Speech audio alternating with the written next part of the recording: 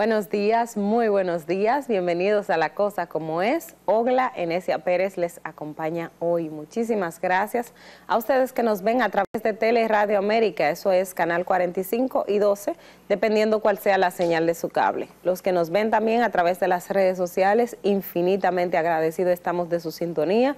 Recordarles siempre que pueden ir a la página de Edith Febles en YouTube, suscribirse al canal, compartir la transmisión, invitar a otras personas para que sean parte parte de esta gran familia y recordarles como siempre que pueden seguir a Edith Febles a través de sus redes, arroba Febles, Instagram, Twitter, Facebook. A mí me pueden acompañar, por supuesto, a través de mis plataformas en arroba Oglabetiza. Hoy ya estamos a 10 de octubre, señores, se siente la brisita de la Navidad. ¿Cuánto que comienza así más sabor y todo lo demás?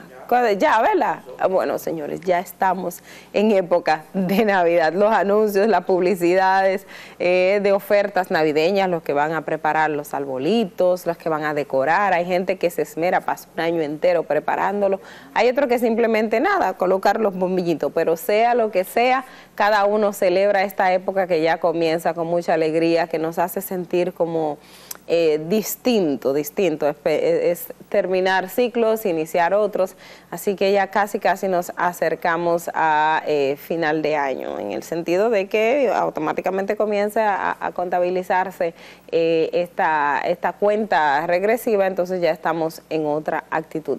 Por supuesto, eh, tenemos también informaciones que compartir con ustedes, diferentes situaciones que se han dado a lo largo de esta semana. Hoy permanece la audiencia del caso Medusa, como ustedes saben, es cada martes y viernes desde las 9 de la mañana hasta las 9 de la noche. También los tribunales de la República tienen otras audiencias eh, que estaremos compartiendo con ustedes y dándoles actualizaciones al respecto. Sin embargo, antes de irme a la pausa, yo quiero, yo quiero eh, compartir con ustedes y quiero que vean conmigo una actividad a la que fui en el fin de semana. Saben que eh, en justo la semana que concluyó se estaba celebrando el República Dominicana Fashion Week.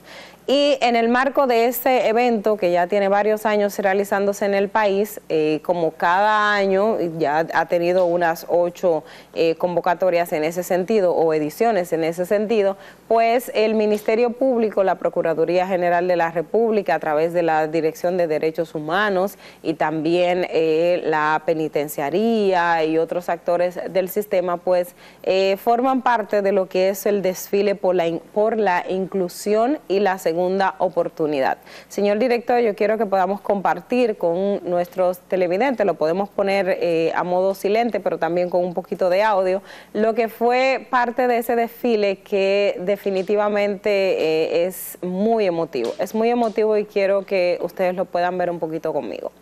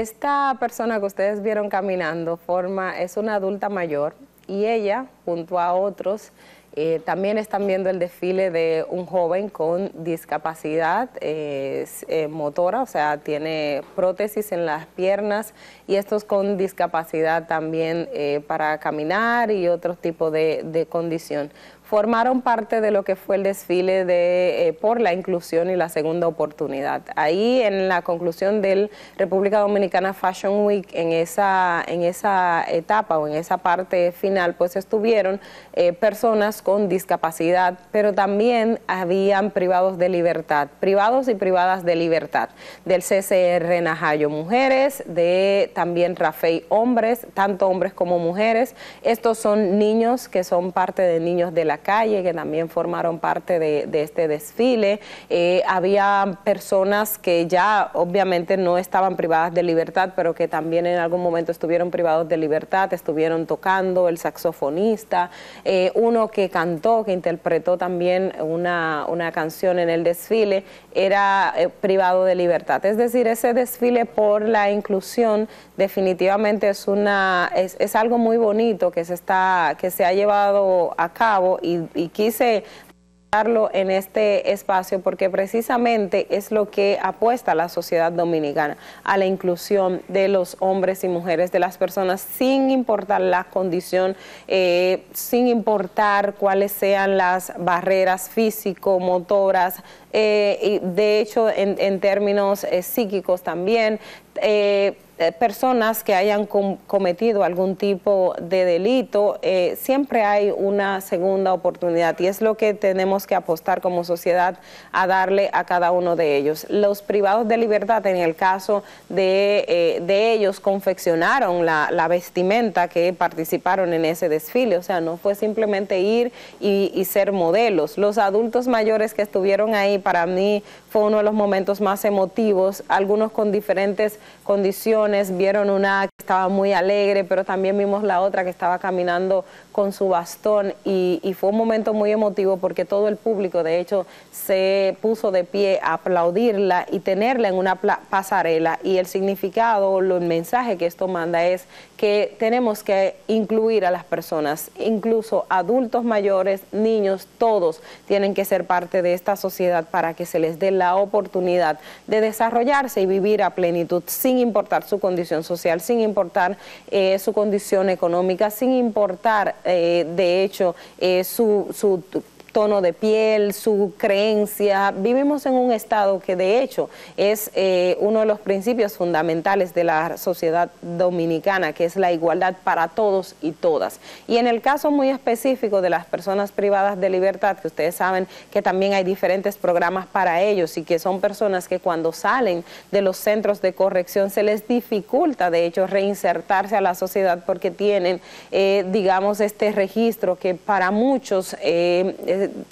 es una, es una barrera. Otros eh, tienen oportunidades de aprender a hacer eh, diferentes actividades y, confeccionar vestimenta, joyas, eh, hacer bordados. De hecho, yo, yo tengo bordado en mi casa que lo han hecho privados de libertad, que uno también lo, lo encarga y eso es parte de la labor de inclusión. Así que quise compartir con ustedes esto porque creo que es importante que como sociedad nosotros también pongamos la mirada en personas, tanto niños como adultos mayores y personas con algún tipo de discapacidad para que sean incluidos de manera eh, integral en la sociedad dominicana. Y señor director, podemos poner parte de esa otra vez ese desfile, pero quiero que me lo adelanten donde está la adulta mayor con su bastoncito para que podamos una vez más verlo y ver esa fase del desfile y con, con, esa, con esa imagen entonces nosotros irnos a la pausa porque es lo que queremos, lo que queremos compartir, lo que queremos que quede en la mente de cada uno de, de nuestros televidentes y de los que nos ven también a las redes sociales porque esto se va a ver en diferido. Y es que tenemos que incluir, tenemos que apostar a la inclusión de todos y todas, tenemos que apostar a que esta sociedad sea integral, a que esta sociedad esté...